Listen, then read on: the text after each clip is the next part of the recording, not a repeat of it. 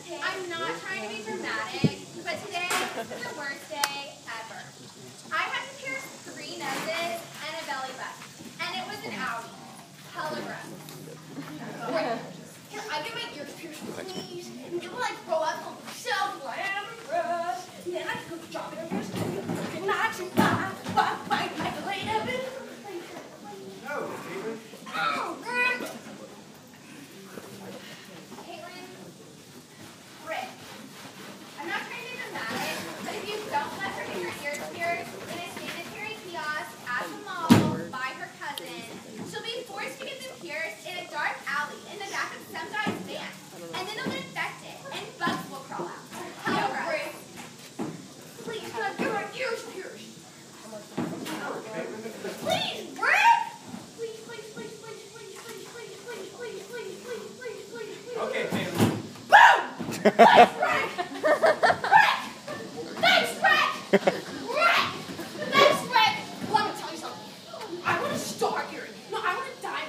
No, I want a cake. A star, a piece out of cross, and my ears all together, and I want to take my picture and be like, oh, here, Katelyn. I'll be like, la, la, la, la.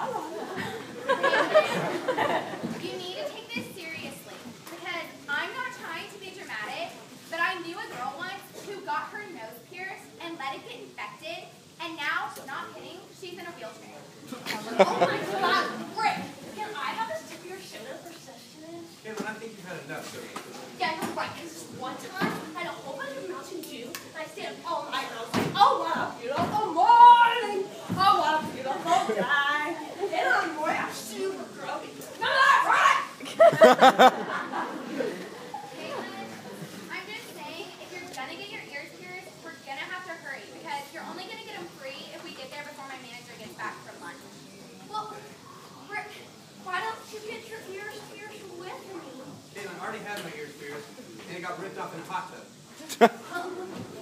I want to get my ears pierced. I want to get my ears Katelyn, you want me to tell you you can't get your ears pierced? Katelyn, I'm putting my foot down. Oh, man, Rick! Thank you, Rick! You know what, Uncle Rick? After searching my soul about it, I completely agree. If you let her get her ears pierced at this young age, she's gonna be forced to be a slut later.